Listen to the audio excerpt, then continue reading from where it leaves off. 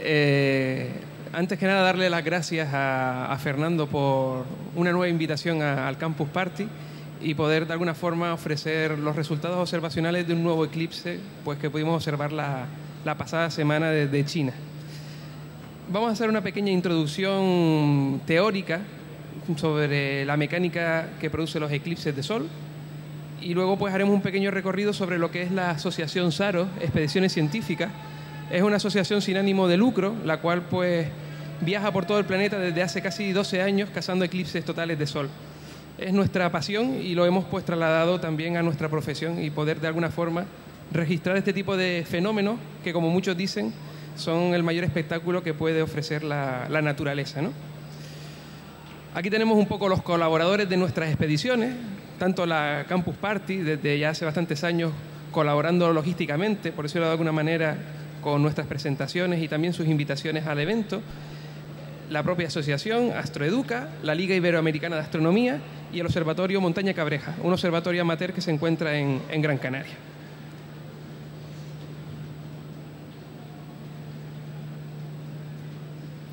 Bueno, eh, podríamos definir a la asociación SARO o podríamos englobarla en tres grandes bloques, por decirlo de alguna manera. En primer lugar, ciencia parte de los aficionados y profesionales que formamos el grupo Saros, pues nos dedicamos cuerpo y alma a esta, a esta afición o a esta profesión, ¿no? como es la, astronomía. Dentro de nuestros objetivos en cada expedición, pues uno de los bloques principales es la ciencia, donde de alguna forma intentamos obtener resultados de esos mm, procesos o fenómenos que se producen durante un eclipse, como estudios medioambientales, poder fotografiar en detalle la corona solar, la atmósfera del Sol, poder eh, hacer registros de protuberancias y también de muy vez en cuando, porque los eclipses no se repiten todos los días, lo que hacemos de alguna forma es intentar captar otro tipo de fenómenos como pueden ser eh, observación de cometas, eh, observación diaria del Sol, pudiendo registrar pues, protuberancias y distintos fenómenos que se producen en la superficie de nuestra estrella. Astrofotografía, también dedicamos bastante tiempo a sacar fotos del cielo, de silencio por el atentado. Vamos a mantener ahora, como decía Fernando antes, el minuto de silencio por el atentado.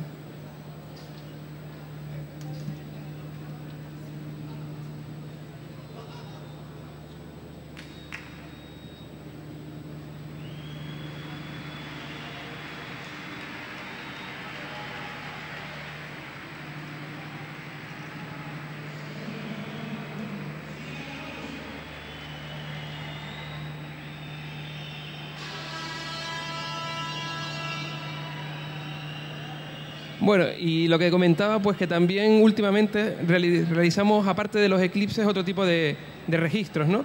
Sobre todo la astrofotografía. Hemos tenido la suerte de poder colaborar con distintas revistas de astronomía, libros, enciclopedias digitales que nos solicitan fotos a la carta y las realizamos pues para documentar ese tipo de, de publicaciones, ¿no? Por decirlo de alguna manera. Ese sería el primer bloque dentro de la Asociación SARO. El segundo sería divulgación. Toda, toda asociación astronómica pues tiene que divulgar, tiene que mostrar este tipo de fenómenos y de ciencia a, otros aficionados y también a las personas de la calle para intentar acercar esta apasionante afición. Y dentro de nuestra labor divulgativa, pues a través de Internet, a través de medios de prensa, con museos de ciencia, sobre todo en Canarias, eh, a través de la Campus Party, en nuestras presentaciones, Allá donde nos desplazamos, pues siempre llevamos material observacional, como en el eclipse de Sudáfrica en el año 2002. Llevamos gafas especiales, eh, desplazamos material también, muchas veces material escolar, medicina, ropa, cuando visitamos países desfavorecidos.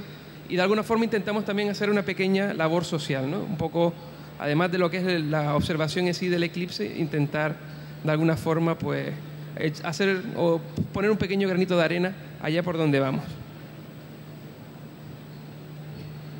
Y el tercer bloque, quizás el más apasionante, la, aventura. Normalmente los eclipses, por desgracia o por suerte, no suceden en lugares muy accesibles. Eh, la banda de sombra que se proyecta sobre nuestro planeta tiene un ancho máximo de 200 kilómetros y hay que estar dentro de, ese, de esa banda de sombra para ver el eclipse de forma total. Entonces, pues muchas veces se complica la logística para, para poder ver el eclipse. En este caso, el pasado eclipse del miércoles pasado, del día 22, sucedía sobre la zona central de China. Logísticamente era muy sencillo. coger un avión, plantarnos en Shanghái y ver el eclipse desde el mismo aeropuerto. El problema son las nubes. Hay que estudiar muy bien el eclipse con años de antelación, estudiar todas las estadísticas para poder elegir el mejor lugar posible. Luego comentar un poco nuestras aventuras por tierras chinas y cómo huimos de las nubes en el último momento. Aquí les voy mostrando algunas imágenes que hemos ido captando en los últimos 10 años de lugares que hemos ido visitando a través de nuestras expediciones científicas y distintos eh, eclipses.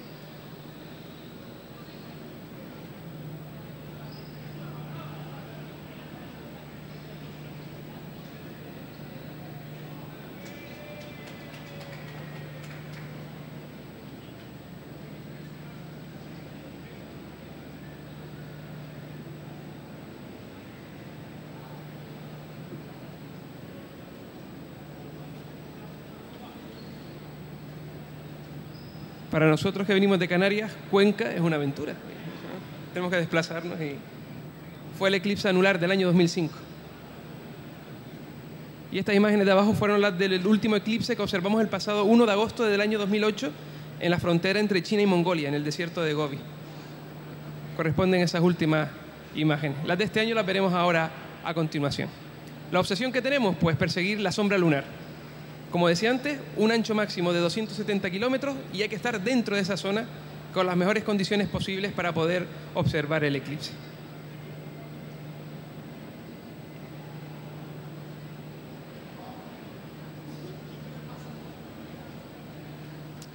Bueno, los miembros del grupo somos aficionados generalmente, eh, todos nos dedicamos a esta afición desde muy pequeñitos, muchos de ellos pues han podido dedicar posteriormente a nivel profesional y compaginan pues su labor docente o investigadora con, con las expediciones que realizamos. Un poco aquí las estadísticas de los eclipses que hemos ido observando desde el año 90, el número de eclipses totales que sumamos entre todos los miembros de la agrupación, unos 40, y un poco las asociaciones e instituciones científicas que, que representamos. ¿no?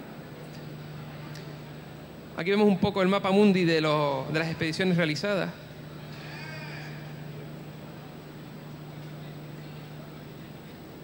Ahí está el de China que ya, se ha realizado. En Kenia es nuestro próximo proyecto, el 15 de enero del año 2010, un eclipse anular sobre Masai Mara en Kenia y resulta que es bastante interesante porque tiene casi 14 minutos de duración. Los que pudieron observar el eclipse anular de sol de la península aquí en, España eh, en el año 2005 vieron 4 minutos y medio aproximadamente. Este tiene una duración de 15 minutos. La Luna se encuentra bastante lejos de la Tierra y el diámetro lunar eh, aparentemente es bastante menor al del Sol y se produce un eclipse bastante largo.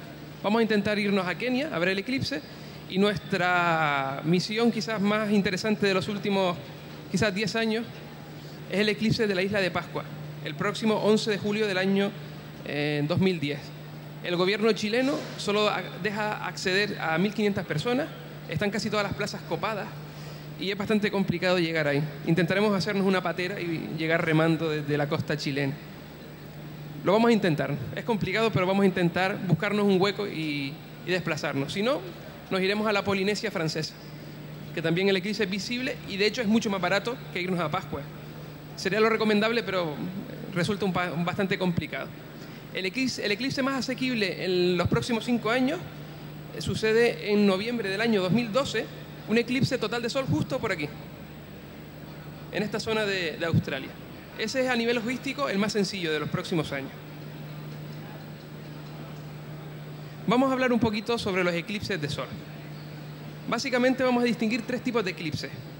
Los eclipses totales, cuando la luna se coloca justo delante del sol y desde la Tierra pues podemos ver cómo se oculta por completo nuestra estrella.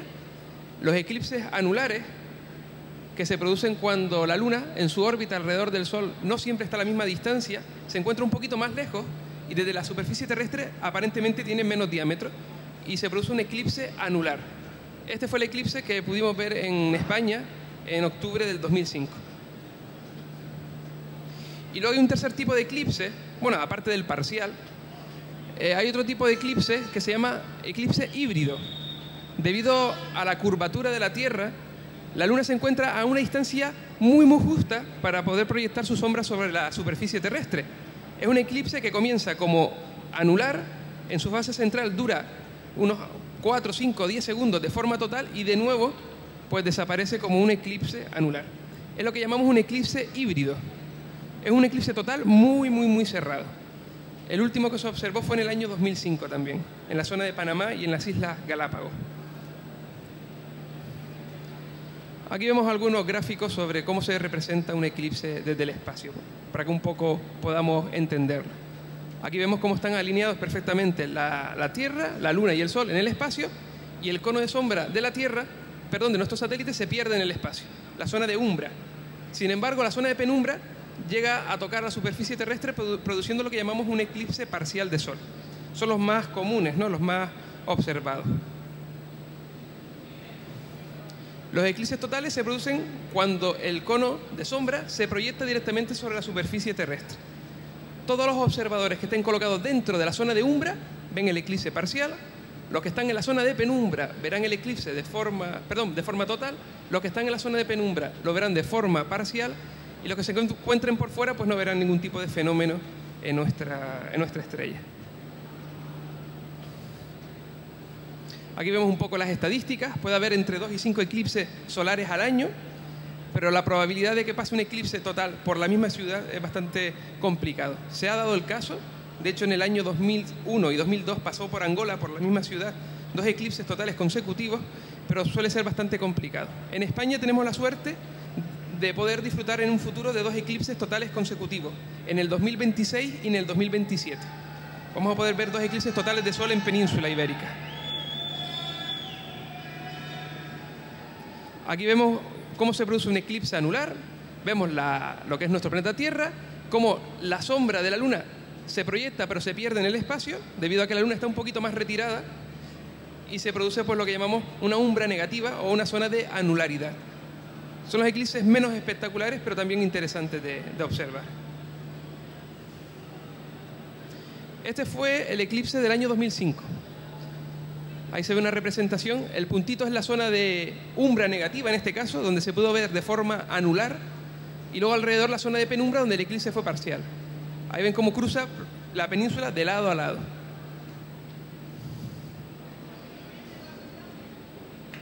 Y aquí vemos la representación de donde la zona de observación era más espectacular. En Canarias, por ejemplo, fue parcial. Estaba fuera de la zona de, de umbra. Y muchos se preguntarán, el Sol es enorme, la Luna es bastante pequeña. ¿Por qué sucede un eclipse? Pues simplemente pues, una coincidencia que nos ha tocado disfrutar. Como pongo aquí, el engaño de la distancia. El diámetro solar es 400 veces mayor al de la Luna. Sin embargo, la Luna se encuentra 400 veces más cerca que el Sol con respecto a la Tierra.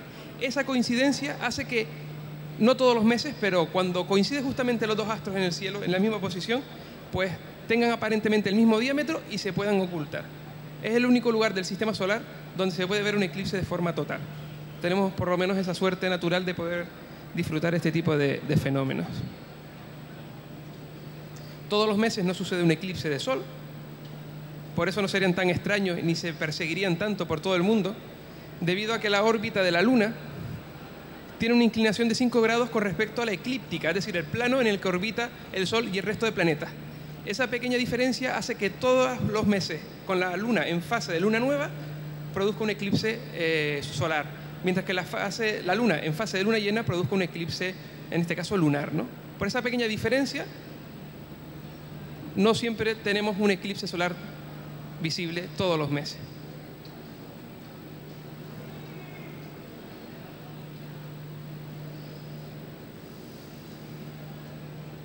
Algunos datos mm, curiosos, por si quieren tenerlo. De todas formas, la charla yo la colgaré también en internet por si quieren descargársela. Luego les diré la página web para que puedan cogerla.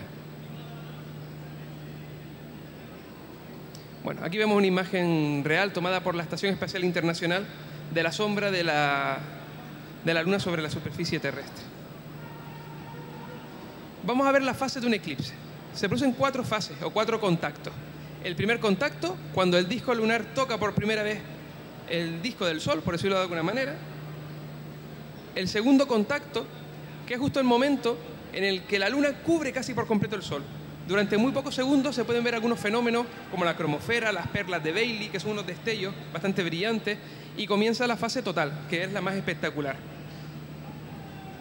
Posteriormente se produce de nuevo el tercer contacto, la Luna sigue su trayectoria y aparece de nuevo el disco solar, produciendo un gran destello que llamamos anillo de diamante y luego pues precede a lo que es de nuevo una fase parcial hasta el último contacto, cuando ya el disco lunar deja de tocar, por decirlo de alguna manera, o de cubrir parcialmente el disco de nuestra, de nuestra estrella. Durante la fase parcial siempre, siempre, siempre hay que utilizar filtros solares. Nos podemos quedar ciegos si no nos protegemos. Solo en la fase total podemos quitar los filtros. Esto es la representación de lo que vimos antes, pero con imágenes reales del eclipse total de Sol del año 2001 en, Zambia. Aquí se ve lo que llamamos el primer contacto, segundo contacto y comienzo de la totalidad, filtro fuera y podemos observar tranquilamente el Sol. Aquí aparece la corona solar o la atmósfera de nuestra estrella, lo más espectacular del eclipse. Tercer contacto y de nuevo la fase parcial hasta el cuarto contacto. Esta fase, desde el principio hasta el final, puede durar unas tres horas y media aproximadamente. Lo más espectacular es lo, menos que dura, por decirlo de esa manera. Dura desde muy pocos segundos a algunos minutos, como máximo siete minutos aproximadamente. Esta es una secuencia completa del eclipse total de sol de Zambia, el 21 de junio del 2001. En esa época todavía utilizábamos película química, no habían cámaras digitales, con lo que era bastante complicado hacer este tipo de composiciones. Un pequeño movimiento del trípode echaba a perder la foto. Y ese vendría a ser más o menos el color del cielo durante la fase total. Se ve lógicamente que más allá del horizonte, por decirlo así, el eclipse en esa zona no es total y se ve totalmente iluminado. Pero en la zona donde estábamos colocados, pues el cielo se oscureció bastante. Aquí vemos algunas imágenes de Fred Spenak, conocido por todos los cazadores de eclipses como Mr. Eclipse. MrEclipse.com es uno de los grandes fenómenos, ha visto más de 20 eclipses de sol y es una gran eminencia dentro de todo este tipo de fenómenos. Esto es lo que llamábamos antes las perlas de Bailey o el anillo de diamantes. Es cuando los últimos rayos solares logran penetrar por esos cráteres más profundos que tiene la Luna en ese extremo y produce esas pequeñas perlas de luz, también conocido como anillo de diamante. Se pueden llegar a ver algunas protuberancias o lenguas de fuego en el Sol y sobre todo la corona. Esto es lo más espectacular de, de un eclipse. Eh, visualmente la corona se ve de esta forma. Parece que son pelos o pequeñas plumas que se desprenden detrás del disco lunar, que es ese disco de color negro a nivel de fotografía, a nivel de vídeo, es imposible captar la estructura de la corona. No hay ningún tipo de cámara adaptada a este tipo de, observación. Tan solo con programas informáticos muy avanzados y técnicas de procesado se puede llegar a aproximativamente captar algo de la corona de cómo se ve a simple vista, pero les puedo asegurar que esta foto no hace justicia a lo que se puede llegar a, ver durante un eclipse total. Este señor ha desarrollado un software que permite hacer fotografías bastante cercanas a lo que el ojo humano observa. Le han ofrecido 4 millones de euros por el programa, no lo ha soltado, lo tiene guardado a, buen recaudo. Y ahí el hombre, pues, ahora mismo es la referencia mundial en cuanto a fotografía de eclipse. Según la actividad solar, la corona no siempre es igual. Mi familia me dice, Fran, otra vez a otro eclipse, 15 días a China, ya fuiste el año pasado, ¿a qué te vas otra vez? A pasar hambre, a coger la gripe A cada eclipse es diferente.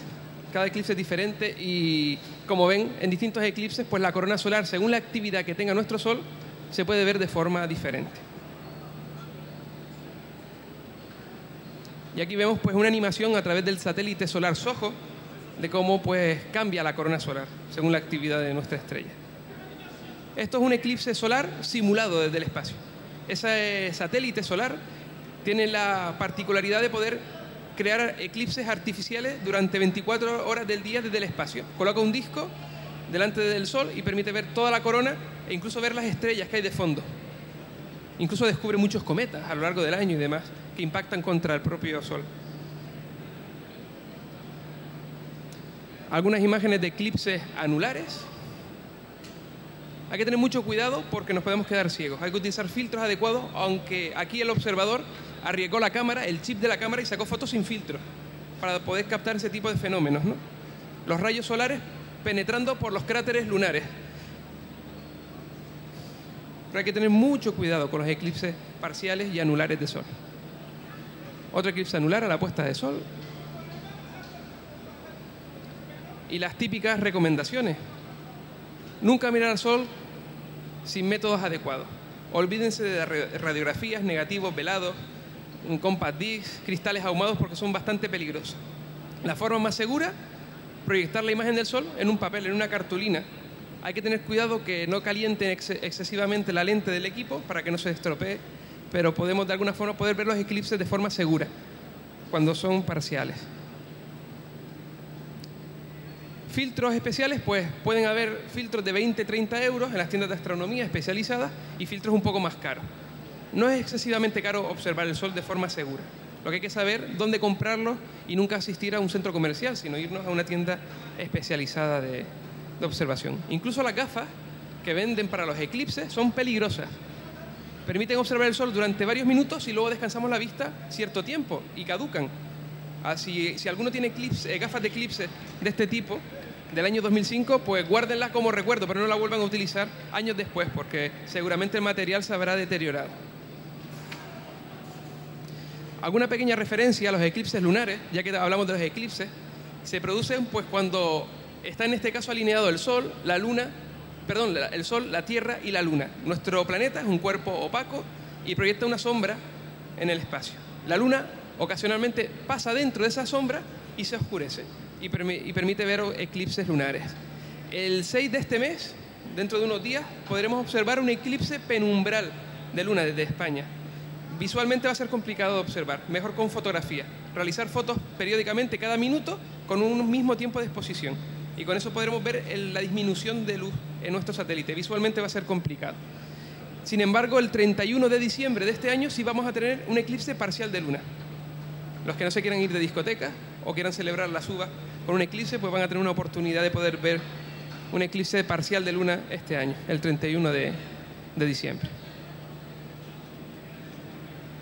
Aquí vemos pues la zona de umbra, la zona más densa o más oscura de, sombra de nuestro planeta en el espacio y la zona más tenue o de penumbra.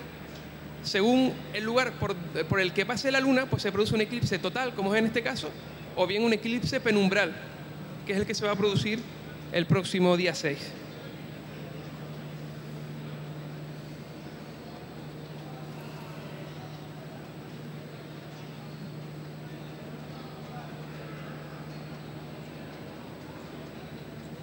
Otra secuencia completa de Mr. Eclipse desde Hawái, año 2000. Una exposición completa de cuatro horas dejamos una cámara reflex con el obturador totalmente abierto, una exposición de cuatro horas y vemos cómo la luna casi desaparece del cielo durante la fase total. Son fotografías muy sencillas de, realizar y se obtienen resultados bastante interesantes. El último eclipse total de luna que tuvimos en buenas condiciones desde Canarias, en el año 2004, en noviembre. Y eclipses en otros mundos, no totales como en la Tierra, pero sí parciales. Aquí vemos cómo los satélites de, Marte pasan por delante del disco solar. Son fotos tomadas por, los rovers, por las ondas espaciales en, Marte. O bien la sombra del satélite Io proyectado sobre las nubes de Júpiter. O la sombra de Titán, el mayor satélite de Saturno. Podríamos decir que son otros pequeños eclipses que se pueden ver en el sistema solar. Vamos a hacer un recorrido rápido para empezar a ver los vídeos y las imágenes que he traído de China. Algunas imágenes de nuestras últimas expediciones.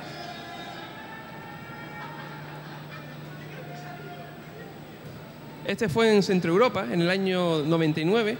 Dicen que ha sido el eclipse más observado de la historia de la humanidad. Se pudo observar desde Stuttgart, Múnich, al norte de París. Lo único que las nubes no acompañaron en ese eclipse. Este fue el de Zambia, quizás el que recordamos con mayor eh, nostalgia. Quizás ha sido uno de los más espectaculares de la última década por la estructura que tenía la corona. Era muy amplia y muy brillante en el cielo. Anécdotas, millones, pero si empiezo a contarlas no salimos de aquí en tres días. Por ejemplo, tener que salir diez minutos antes de la posición de observación porque venía una manada de elefantes. Cosas así surrealistas que no estamos acostumbrados a ellas y que pasan cuando sucede un eclipse en lugares muy remotos y muy complicados ¿no? de- del planeta. En el año 2002 nos fuimos a Sudáfrica, fuimos con el Instituto de Astrofísica de Canarias y las nubes nos chafaron el eclipse. De un minuto 26 solo pudimos observar tres segundos nada más. Aquí se ve la secuencia y lo poquito que pudimos capturar de la fase total del eclipse. En el año 2003 nos fuimos a Escocia a un eclipse anular.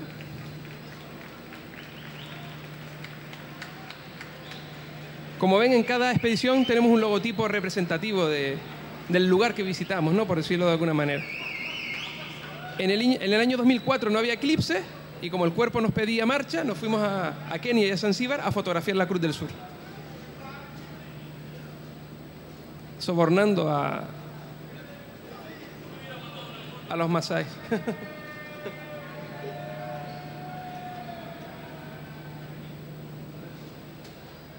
Ahí se ve la constelación de la Cruz del Sur. Es la excusa perfecta para viajar, por decirlo de alguna manera.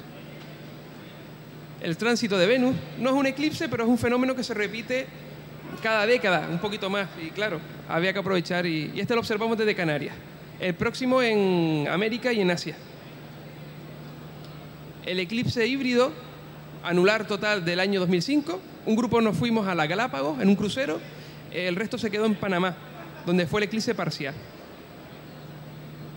Así se vio en Panamá y así se vio en alta mar.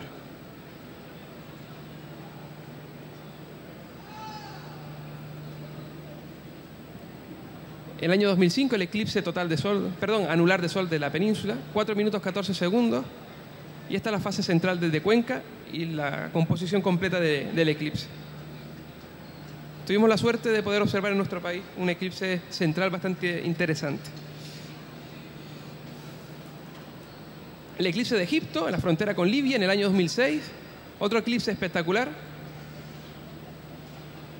Y el eclipse del pasado año, en la frontera con, entre China y Mongolia. Este eclipse eh, lo pasamos bastante mal porque se nubló dos minutos antes de la totalidad. Y ya dá- dábamos por perdido el eclipse. De hecho, tuvimos que salir corriendo porque desde hacía media hora, a un kilómetro, veíamos que el sol incidía continuamente en esa zona, mientras que nuestra zona estaba a la sombra. Decidimos abandonar los equipos a su suerte y nos echamos a correr. Y al final, pues pudimos registrar parcialmente el eclipse, con algunos de los materiales que pudimos coger con las manos y, y salir corriendo. Pero el material principal lo tuvimos que dejar atrás porque era muy pesado.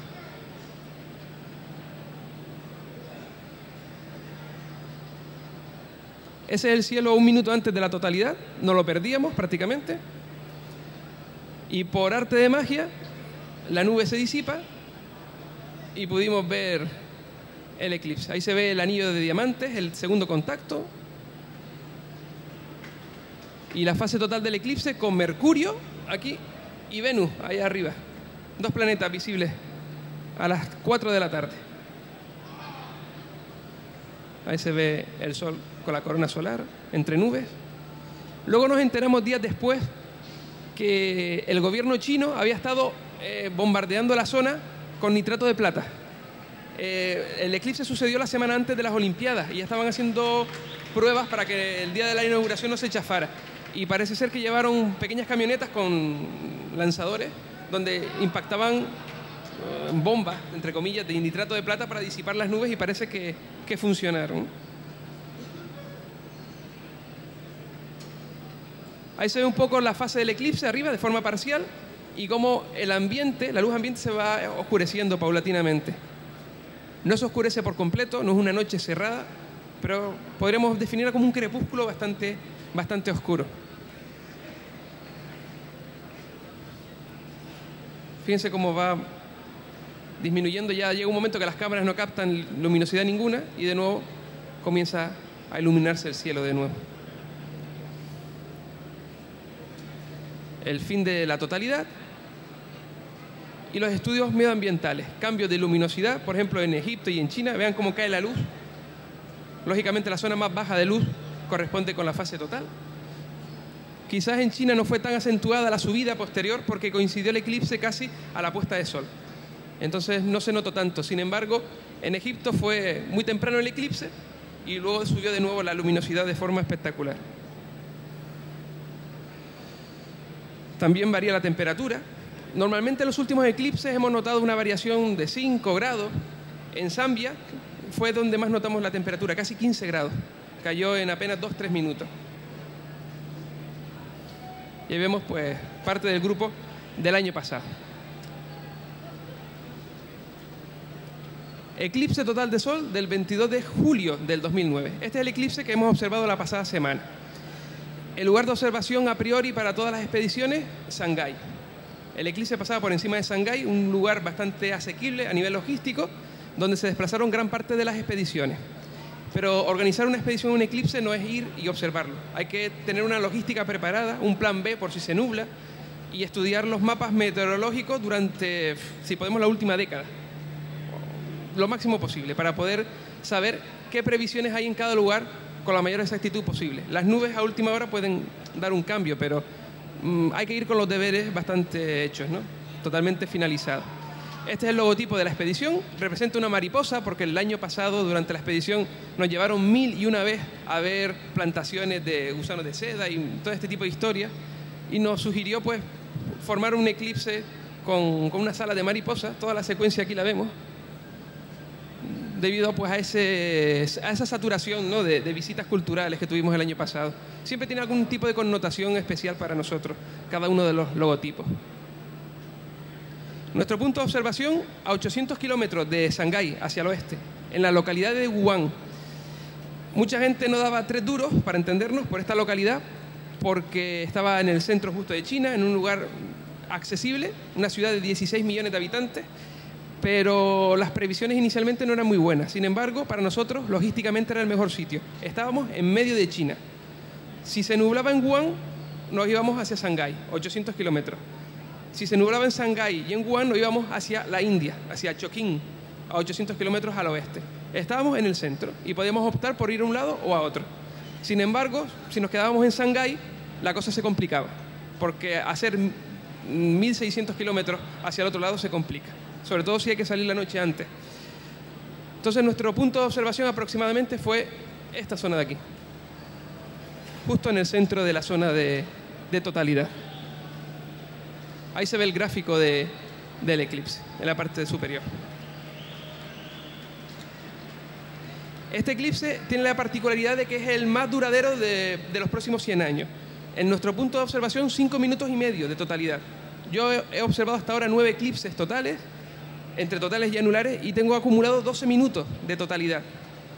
He estado 12 minutos bajo la sombra de la luna. Sin embargo, en este solo he acumulado 5 minutos y medio. Un, eclipse bastante duradero. Son de los que hay que amortizarlo bastante bien. Y este es nuestro punto de observación. La franja cruzaba toda esta zona así. La mayoría de expediciones a Shanghái y a Hangzhou son dos zonas bastante conocidas y turísticas. Nuestra posición justo en el centro, para irnos hacia un lado hacia otro. La semana antes, completamente despejado el cielo, el día antes se nubla en Shanghái, tormenta, se nubla en, Ganzhou y justo en Wuhan aparecen nubes bastante altas, lo que llamamos cirro. Estaba el frente de la tormenta justo llegando a nuestra zona. Y decidimos salir la noche antes y desplazarnos unos 100 kilómetros hacia el oeste y situar nuestro punto de observación muy cerca de la famosa presa de las tres gargantas que están construyendo en China tuvimos interferencia de nubes, nubes altas, pero que no impidieron la observación del eclipse. Mucho peor lo tuvieron pues todas las expediciones que se quedaron en, en esta zona de aquí donde solo vieron agua y nubes.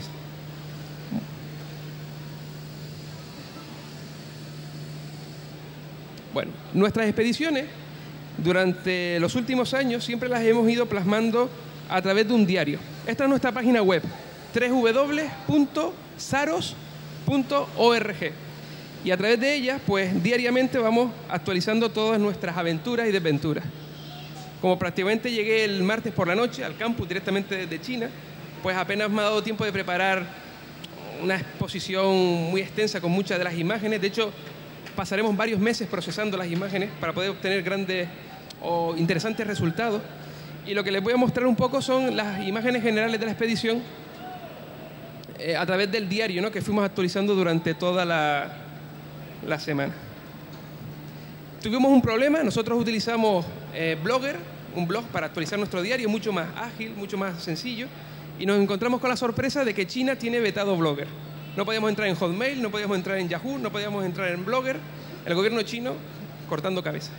Entonces tuvimos que editar una página en HTML de forma rápida con nuestros portátiles y actualizarlo como pudimos para poder llegar a la mayor cantidad de gente posible.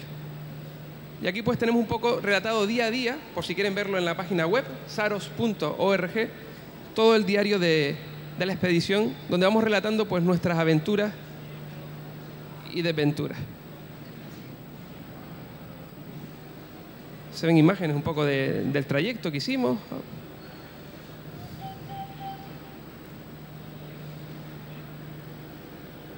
Shanghái es espectacular.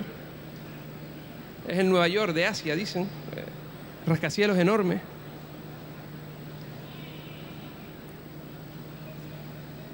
Esto contrasta bastante con los rascacielos. Zonas totalmente deterioradas con andamios de bambú. Y ellos colgados literalmente de los andamios, los trabajadores, sin protección ninguna. Llegamos a la ciudad Wuhan, una pequeña ciudad de 16 millones de habitantes, nada más y nada menos, donde el día antes del eclipse, o dos días antes, pues el cielo estaba bastante complicado. Comenzaba un poco a, nublarse, pero bueno, teníamos buenas previsiones. La conexión a Internet gratuita en todos los lugares de China, en cualquier plaza, en cualquier aeropuerto, en cualquier restaurante, en cualquier lodge, cualquier choza donde nos quedábamos, había conexión a Internet.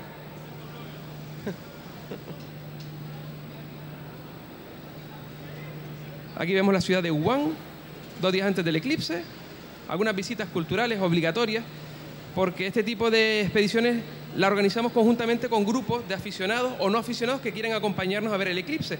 Y de alguna forma hay que justificar, porque si el eclipse se nubla, pues hay que ver otro tipo de cosas también, ¿no? Entonces, lo principal es el eclipse, pero hay que justificar el gasto, por decirlo de alguna manera, y visitamos pues las zonas más características de los puntos de observación. Todo esto lo pueden leer tranquilamente en la página web, contamos anécdotas y demás. Y aquí pues vemos todo lo que es la, el relato de la, del eclipse. Este fue nuestro punto de observación, al lado de una autopista, eh, totalmente verde, en comparación con el último año que habíamos tenido bastante mal tiempo por las nubes y por el calor del desierto. Las condiciones fueron bastante favorables inicialmente, aunque luego comenzaron a, a nublarse. Una imagen de la, fase parcial del eclipse. Y aquí vemos por lo que llamamos el anillo de diamantes o el segundo contacto. En este caso sucedió en la parte inferior y fíjense cómo las nubes interferían un poco en, en, el eclipse, pero no dejaban de interrumpir la observación de la corona. Aquí vemos el grupo de observadores de este año y algunas imágenes de... Todo esto lo veremos ahora en, en el vídeo. Y luego pues otras imágenes del resto de expedición, los cuatro días pues que nos restaban pues para de alguna forma seguir disfrutando de, de China, ¿no?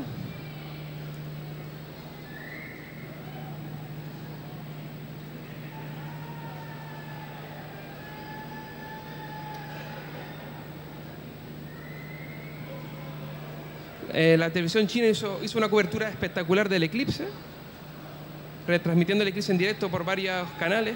Y estas son imágenes desde el rascacielos más alto de, de Shanghái. Tiene 500 metros de altura.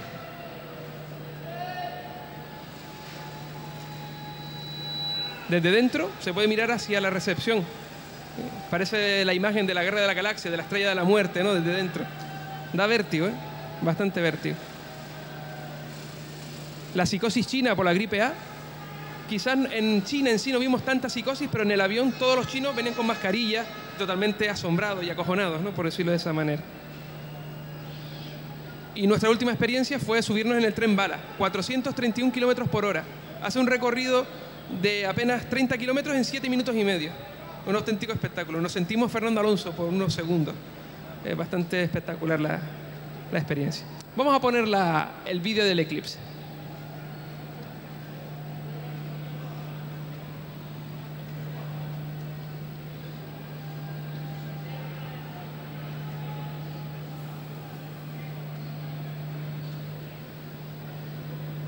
Bueno, el primero de ellos es un eclipse, es una, perdón, una, una, grabación filmada con una cámara compacta digital en un formato vídeo donde se aprecian los últimos cinco minutos antes de la fase total.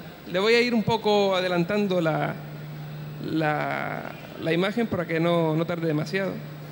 Aquí aproximadamente estaríamos a unos 3-4 minutos de la fase total del eclipse. El cielo ya se ha oscurecido algo y comienza pues, a levantarse una ligera brisa. Fíjense cómo se, se mueven los árboles del fondo y la luz comienza a caer poquito a poco.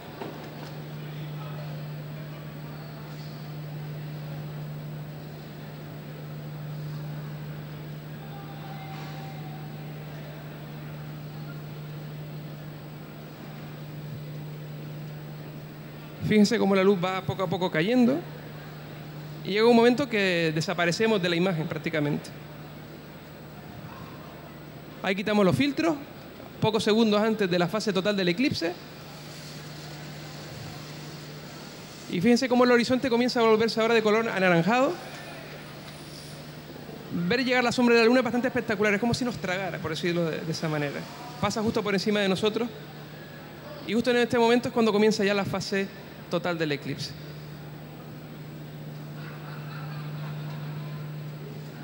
Ahí se veía el horizonte bastante anaranjado y ya comienza la, la, fase total. Justo en la fase central apenas se ve nada, está totalmente oscuro.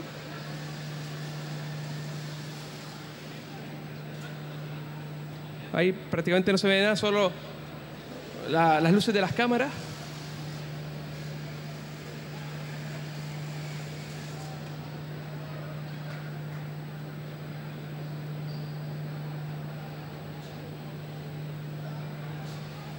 y a medida que el eclipse sigue su transcurso, pues comienza de nuevo a iluminarse y finaliza lo que es la fase total de, del eclipse. Fíjense cómo ahora de forma muy muy rápida sube de nuevo la, la, luz. Todo este tipo de procesos lo tenemos entrenado un año antes. Prácticamente soñamos con, con el eclipse y todo lo que es el campo de trabajo, tiempos de exposición en las cámaras y lo que tenemos que hacer en cada momento lo llevamos estudiado al 100%, aunque siempre hay algún pequeño fallo y nos podemos equivocar, pero intentamos ir o hacerlo de la forma más robótica posible, ¿no? Son muy pocos minutos y hay que aprovecharlos al 100%. Y fíjense cómo enseguida crece la, la luz.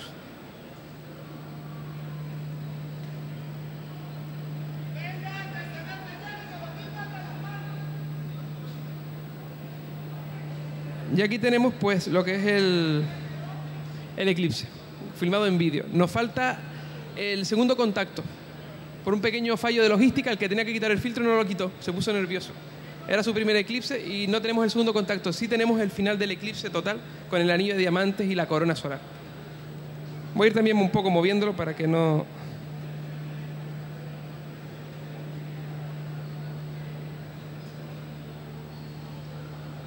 Fíjense las nubes que iban interfiriendo en la observación de, del eclipse. Eran nubes altas, no eran preocupantes, pero nos hacían temer lo peor por momentos.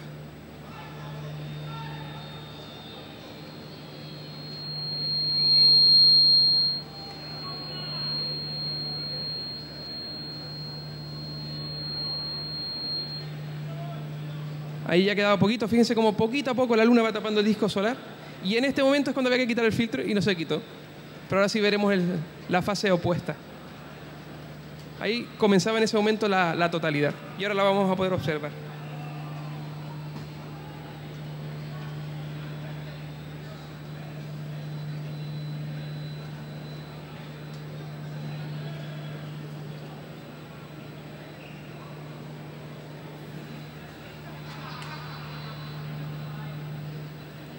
Ahí se ve el disco de la luna cubriendo completamente el sol y la corona solar alrededor.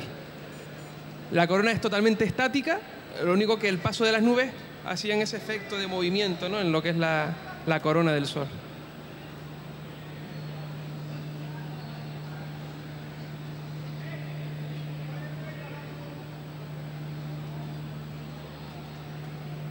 Y ahora pues después de cinco minutos y medio, en la parte superior derecha, pues veremos lo que llamamos el tercer contacto, la finalidad o el fin de la, de la fase total del eclipse. Paulatinamente comienza a iluminarse tenuemente esa zona y comienzan a aparecer de nuevo los primeros rayos solares por la zona opuesta de donde se produjo eh, la fase inicial, ¿no? de la fase total.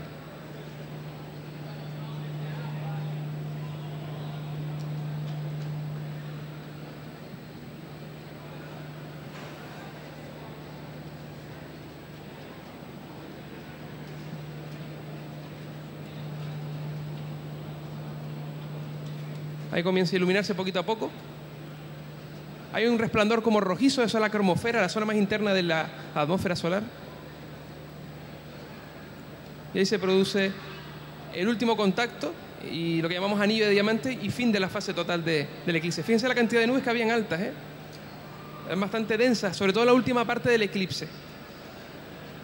Eh, nosotros tenemos todavía imágenes, tenemos una videocámara exclusivamente orientada hacia el horizonte y pensamos que ese tipo de nubes se crearon por la propia sombra de la luna. Todo eclipse arrastra un pequeño microclima.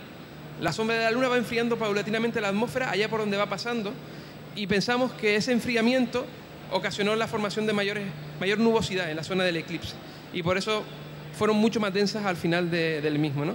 Y de nuevo, pues fase parcial eh, y de nuevo, pues colocar filtros para proteger la vista y esperar pues a que el eclipse finalice. En los primeros eclipses nos quedábamos, nos quedábamos hasta el final. Eh, en este concretamente faltaba media hora y ya estábamos en el coche de vuelta. Ya esta fase ya interesaba bastante poco después de haber disfrutado de, como decía al principio, de uno de los mayores espectáculos de la, de la naturaleza.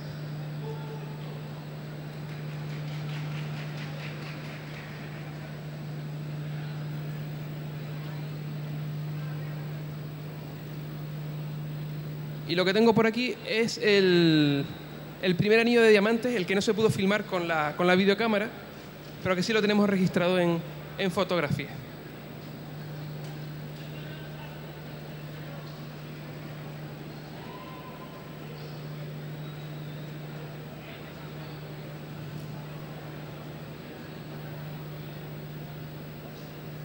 Ahí se ve. Yo les animo que si alguna vez tienen la oportunidad de poder viajar y poder asistir a un, tipo, a un fenómeno de este tipo, pues lo hagan porque realmente merece la pena. Nuestras expediciones están abiertas a todos ustedes. Son expediciones económicas, no son excesivamente caras, siempre vamos buscando la mejor opción y están invitados. Eh, tienen nuestra página web, saros.org, y a través de ella pues pueden contactar con nosotros y acompañarnos o bien al eclipse de Pascua, aunque bastante complicado porque las plazas son muy limitadas, pero sí en lo siguiente a Australia, al de Kenia, al que quiera. Es les digo, es una forma de hacer turismo y de paso pues disfrutar de nuestra afición y de poder disfrutar de este tipo de fenómenos. El problema es que es adictivo. Cuando ven uno, querrán verlo todo. Entonces ese es el problema. Si realmente sufren de dependencia o de algún tipo de patología de este tipo, les recomiendo que se queden en casa. Pero si realmente disfrutan con ello, les recomiendo que, que por lo menos en alguna vez, alguna vez en sus vidas, pues puedan de alguna forma disfrutar de ello y poder desplazarse a ese lugar para observar. Otros eclipses asequibles, aparte de los peninsulares, como llamamos nosotros cariñosamente desde Canarias, pues en el 2026-2027 eh, en Norteamérica, en el dos- tenemos uno bastante importante, en la zona de Wyoming, eh, en el cañón del Colorado, en el año 2017 un eclipse total. Luego hay algunos en Indonesia a principios de, del 2012, 2013, 2014, pero los más interesantes van a ser los de Estados Unidos, 2017, y luego ya saltamos directamente a los eclipses de España, en el 2026 y 2027. Esto es todo. Muchas gracias por su atención.